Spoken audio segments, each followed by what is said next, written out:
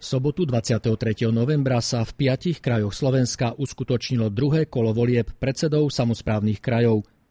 Na základe oficiálnych výsledkov štatistického úradu sa staronovým županom Trnavského samozprávneho kraja stal Tibor Mikuš.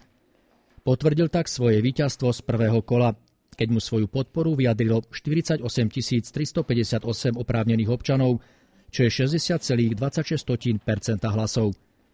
Jeho súper Jožef Beréni získal 39,73% hlasov, ktorému odovzdalo 31 884 voličov. Tibor Mikuš sa stal jednoznačným víťazom aj v Holíči, kde ho podporilo 1523 voličov, čo predstavuje 95,96% hlasov. V druhom kole prišlo v Trnavskom kraji k volebným urnám 17,28% oprávnených občanov, Rovnaká účasť bola aj v samotnom Holíči. Z celkového počtu 9336 oprávnených občanov využilo hlasovacie právo 1614 voličov, ktorým boli vydané hlasovacie obálky.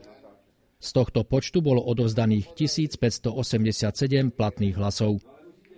Podľa vyjadrenia polície voľby v našom meste boli pokojné a bezproblémové.